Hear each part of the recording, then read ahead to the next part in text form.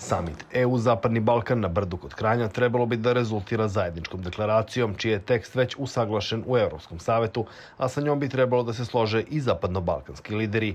Šefovi država i vlada zemalja članica EU potvrdići svoju, kako u tekstu stoji, jednoglasnu podršku evropskoj perspektivi Zapadnog Balkana, kao i podršku procesu proširenja zasnovanoj na kredibilnim reformama partnera.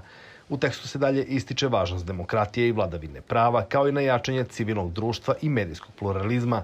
EU ponavlja svoju posvećenost regionu i na partnerstvo u borbi protiv pandemije, poziva zapadno-balkanske partnere da rade na regionalnoj saradnji, dobrosusedskim odnosima i rešavanju bilateralnih problema sa posebnim akcentom na podršci dijalogu Beograda i Prištine i očekivanju napretka ka punoj normalizaciji odnosa dve strane, podržavaju i zajedničko regionalno tržište.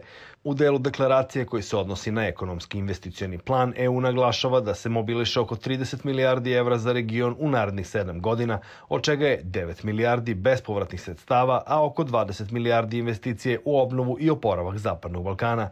U zaključku deklaracije se ističe da će samiti sa regionom postati redovni.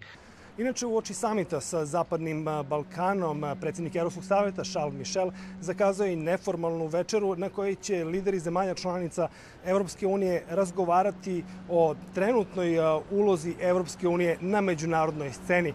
Dakle, razgovarat će se o aktualnoj situaciji u Afganistanu, zatim o novom partnerstvu između Australije, Sjedinjenih američkih država i Velike Britanije, kao i o evoluciji odnosa sa Kinom. Iz Ljubljane za radio televiziju Vojvodine, Ivan Ilić.